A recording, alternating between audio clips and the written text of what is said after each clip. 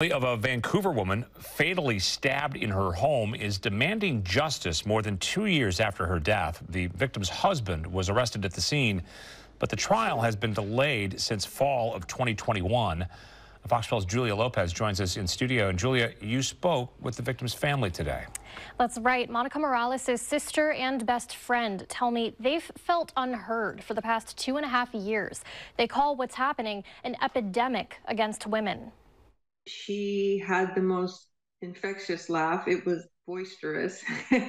you couldn't help laugh when she laughed. It was the most beautiful thing in the world to have her in my life and to have have that taken away has just been gut wrenching. Monica Morales was known as Star to those who loved her. Her sister Gina and her best friend Jen say her lifelong dream was to be a mother. It's just sad that someone took that away and you know she she only got eight short years with her with her son and that's so unfair. On october 7th 2021 police were called to star's vancouver home to reports of an assault. Court filings say she was found with multiple stab wounds and died in the hospital. She lived in fear.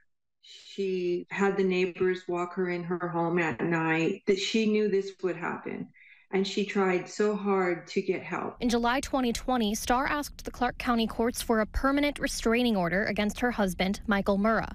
In her request, she wrote she feared for her and her son's lives. Her request was denied due to what the county called a lack of evidence. Having gone through everything that she went through with this man and what he put her through and she she's the epitome of a strong woman. Murrah was arrested at the scene for his wife's murder. According to the probable cause affidavit, he was found outside the home holding a knife with apparent blood on his hands. Murrah told police he killed someone called Star Beast and later said he murdered his wife, quote, in cold blood. Heartbreaking. It's I, I see what she went through the fight that she had is now my fight. Over the past two and a half years, court records show Murrah's trial has been postponed a total of seven times amid multiple requests for psychiatric evaluations and the hiring of three different attorneys. He's now due in court June 17th. We've lost a loved one. We've lost somebody that's very important to our family, and it's hard to even get to mourn her because we've been fighting from day one. They say they've retained the help of the National Women's Coalition Against Violence and Exploitation to advocate for a jury trial. An attorney for Murrah called the move off base.